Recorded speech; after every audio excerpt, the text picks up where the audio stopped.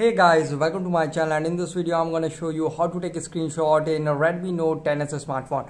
Okay, so the first and really easy method is just slide down your three fingers like this to take a screenshot. Tap here to take a scrollable screenshot and tap here to send it. You can see just slide down your three fingers like this. And the other method is just press and hold the volume down and power key together like this to take a screenshot. You can see just press and hold the volume down and power key together like this to take a screenshot quickly.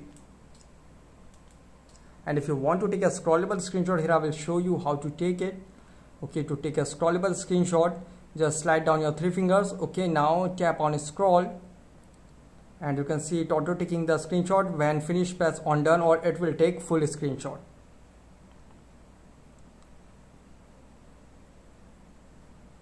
so you can see now it is uh, at the bottom of the page. So you can see this is the scrollable screenshot by Redmi Note 10s smartphone. Now tap here to save it.